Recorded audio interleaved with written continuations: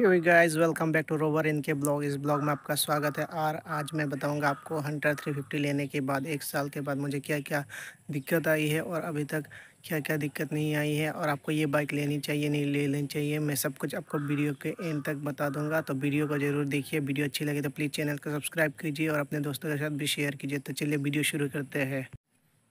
ये है मेरी हंड्रेड थ्री आप देख सकते हैं। तो इसका पूरा अभी तक एक साल हो चुका है इस बाइक का।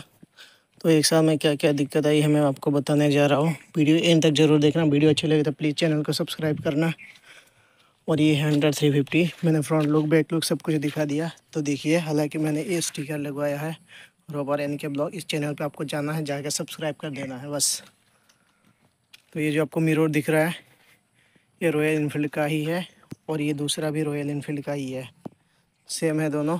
तो ज़्यादा कुछ एक साल में स्क्रैच वगैरह नहीं आया है। पर स्क्रैच कहाँ कहाँ आया मैं दिखा देता हूँ। सबसे पहली बात तो ये देख सकते हैं, चप्पल किसी ने रख दिया था यहाँ पर। तो ये मेल्ट हो गया, यहाँ पर बैठ गया। तो ये स्क्रैच है और एक दिन बाइक भी गिर गई थी। तो ये देख सकते हैं, यहाँ पर भी स्क्रैच आपको दिख रहा होगा। बस इतना ही स्क्रैच है, एक साल में। बाकी दिक्कत अभी तक नहीं आई है।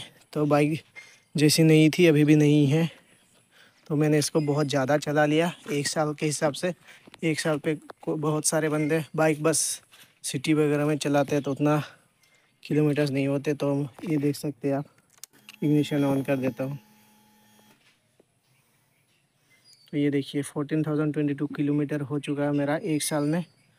और टाइम देख सकते हैं थ्री थर्टी वन टाइम भी सही है। अभी मैं वीडियो बना रहा हूँ तो उस हिसाब से सही है।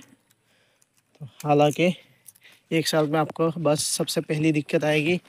ये जो चेन आपको दिख रहा है चेन अगर आप समय से समय अब यूज़ नहीं करते हो चेन वगैरह क्लीन नहीं करते तो मेरा तो काफ़ी साउंड आ गया है नॉइज़ होता है चेन में।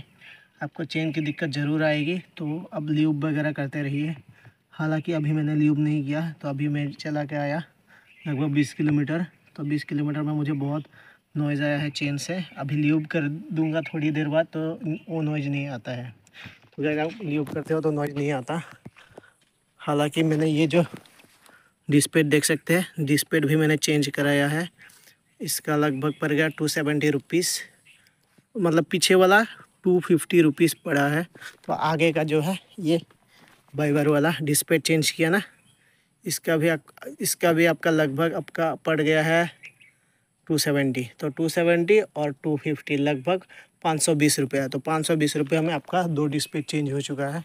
ये मैंने सर्विसिंग में नहीं करवाया है एक्स्ट्रा करवाया है तो इसके लिए आपको पाँच सौ बीस रुपये दोनों पड़ गया, ठीक है? तो हालाँकि बाकी, ये देखिए, यहाँ पर भी स्क्रैच है। इस स्क्रैच की वजह है कि ये भी गिर, गिरा था बाइक तो ये स्क्रैच आपको दिख रहा है ना? यहीं से आया है। तो कहते अब अगर आप हंटर लेते हो टू थाउज़ेंड ट्वेंटी फोर के लिए मतलब टू थाउज़ेंड ट्वेंटी फोर में तो आपको लेना चाहिए, नहीं लेना चाहिए आपके ऊपर डिपेंड करता है। मैंने तो अभी तक चलाया, सब कुछ सही लगा। और मैंने काफ़ी लॉन्ग राइड भी किया, तवांग गया हूँ दो बार, और तवांग मेघालय गया हो एक बार। तो उतना तो दिक्कत नहीं आया अभी तक। और इसका लाइट का जो ब्राइट है, वो भी बहुत ज़्यादा ब्राइट है, बाकी बाइकों से। तो आप आराम से जा सकते हो कहीं पर भी लॉन्ग टूर पे। बस इसका एक दिक्कत है जो पिलियन बैठता है ना इसमें आपको बहुत ज़्यादा दिक्कत आएगी। पिलियन अगर हाइट में ज़्यादा है तो उसका पे, पेड़ वगैरह दर्द करेगा तो उसका आप हिसाब रख लीजिए। और इतने दिन में आपको माइलेज वगैरह क्या देता है? अगर आप फोर्थ सर्विसिंग करा लेते हो मैंने तो अभी तक मतलब थर्ड सर्विसिंग करा करवाया है। अगर मैं X P ninety X P ninety five fuel डालता हूँ इसमें तो आपको लगभग फोर्टी थ्री फोर्टी फाइव तक माइलेज दे देता है।